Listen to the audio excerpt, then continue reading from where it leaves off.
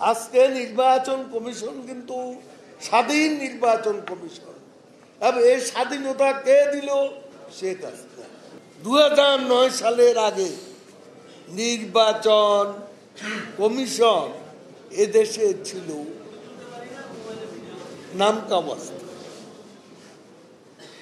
তখন chief election commissioner এবং কমিশনাররা নিয়োজিত হতো প্রধানমন্ত্রী করতেন কোনো নিয়ম কানুন ছাড়া সেটি তখন নির্বাচন কমিশন ছিল প্রধানমন্ত্রীর অফিসের একটা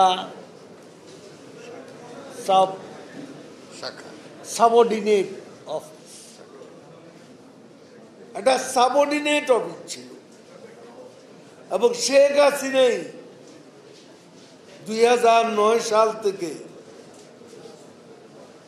পরিবর্তনের সূচনা করেন তার নিজের যে ক্ষমতা, প্রধানমন্ত্রী হিসাবে, প্রধান নির্বাচন কমিশনার, অন্যান্য নির্বাচন কমিশনার, এদেরকে নির্বাচিত করার যে দায়িত্ব, সেটা তিনি পার্লামেন্টে আইনের মাধ্যমে স্বাধীন নির্বাচন কমিশন গঠন করে তিনি তার সে দায়িত্ব রিলিঙ্কুইশ করেন সে দায়িত্ব তিনি ছেড়ে দিন আমার তো বলা উচিত।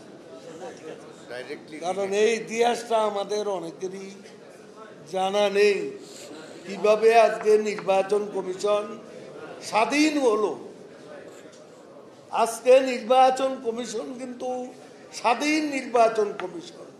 এই স্বাধীনতা কে দিল হাসিনা এর জন্য অন্য কারও কৃতিত্ব ছিল না কাজেই বাংলাদেশে একটা সুষ্ঠু, নিরপেক্ষ মিনিংফুল ক্রেডিবল অ্যাকসেপ্টেবল ইলেকশনের জন্য যে যে বিষয়গুলো দরকার, যে ইনগ্রেডিয়েন্টস প্রিকন্ডিশনসগুলো দরকার, সেগুলো ফুলফিল করেছিলেন একমাত্র এই দেশে একজন প্রধানমন্ত্রী বঙ্গবন্ধুর কন্যা শেখ হাসিনা।